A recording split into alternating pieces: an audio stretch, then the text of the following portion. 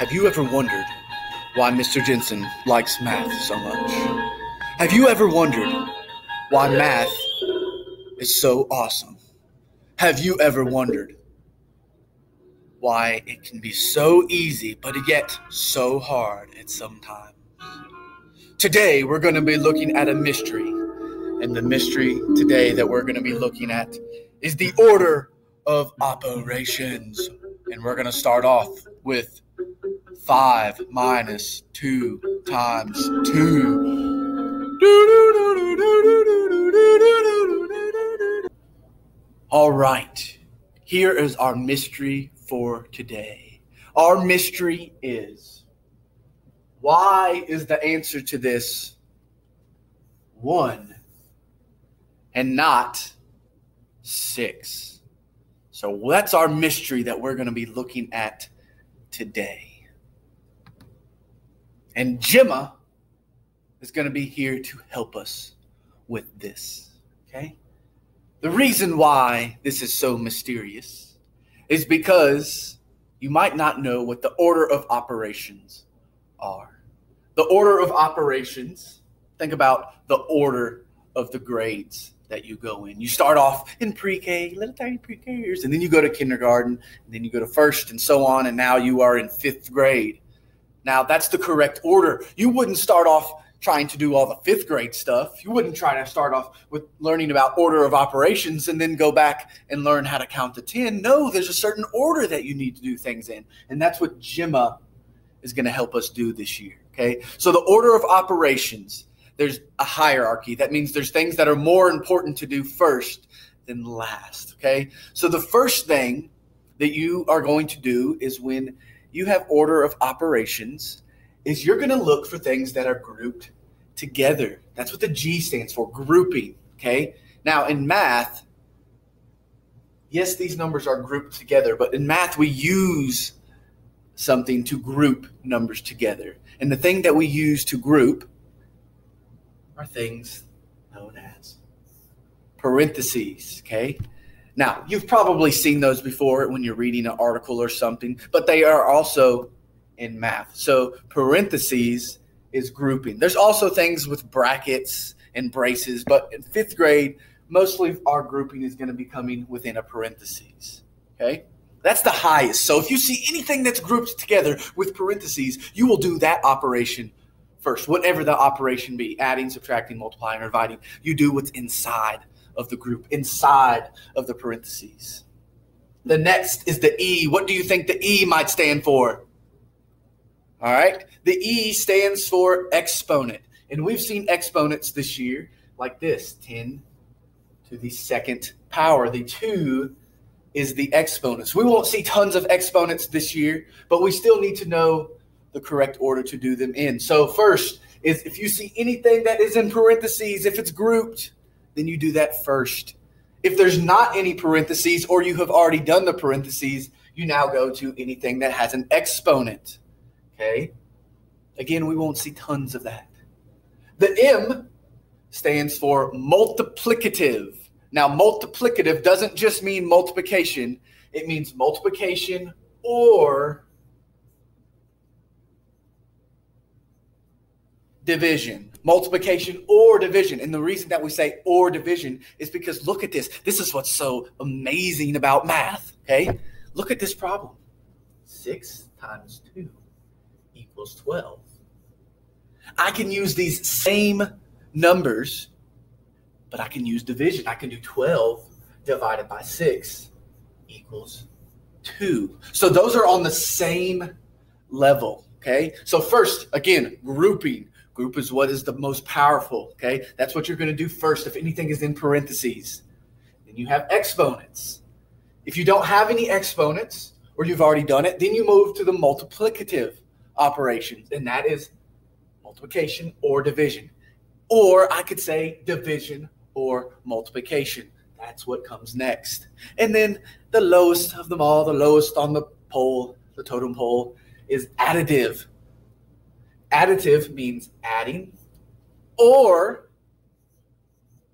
subtracting. And again, this is amazing. This is one of math's awesome mysteries is that you can do 6 plus 2, which equals 8. But then you can also do 8 minus 6 to give you 2. So, GEMA is what we're going to be using this year to help us remember all of our steps of what we should be doing. So, again, groups, if it's in parentheses, we got to do it first. Super important. Remember, groups are stronger together. That's why we group them together. Okay. Then we have exponents. We won't see too many of them, but remember, it's got the power up here. Then we have multiplicative operations, which is multiplying or dividing, or I could say dividing or multiplying. And remember, that's because 6 times 2 equals 12, and 12 divided by 6 equals 2. Think about last week. Last week, when we did division, we checked it with multiplication. So they go together, they are lumped together, they are equal to each other. They are less than grouping, they are less than exponents, but they are the same. They have the same amount of balance, or they are equal the same thing. And then at the very bottom, we have additive. Okay. An additive either means addition or subtraction. I know it says add, but it's addition or subtraction, and it's because they go together. Or I could say subtraction or addition. So, this is what we're going to use this year to help us with our order of operations. So, what we're going to do now is we're going to take a look back at our mystery of why this equals one instead of six. All right, so we have our GEMA set up, and I do this for every single problem. So I would suggest that you have this down while you're doing it. You don't have to do it now, but when you are doing these problems, setting up GEMA. Okay, so remember the G stands for grouping, and those are the parentheses. Well, if I take a look at this problem, we have 5 minus 2 times 2. There's no parentheses here, there's no grouping. So we're not going to worry about our G. So we're going to eliminate it. We're not we're done with grouping. Okay. Next, we're going to go to exponents. Remember, that would be like 10 to the second power. I don't see 5 to the second or 2 to the second or 2 to the second. So we don't have any exponents here either. Now, we're going to go to multiplicative operations. And remember, that could either be multiplication or division. So if we take a look at here, I see multiplication. And remember, multiplication is higher than the additive operations. So we're going to multiply here first. So we're going to do 2 times 2, which is 4. And then we're going to bring our 5 in our operation down. So now we have 5 minus 4. So we've done our multiplicative. And now we're going to do our additive. Now, it's not adding because remember, additive can be addition or subtraction. So now we are subtracting 5 minus 4 and that gives us 1. So now we have solved our problem. We have simplified our answer because there was lots of stuff, and now there's only one single number, and it's the number 1. All right, now we have two problems up here. And before we go on, I want you to answer this question for me. How is this problem different than this one? Let me hear it. Come on. Type it in. How is this problem different than this one? If you said that it had parentheses, give yourself a pat on the back.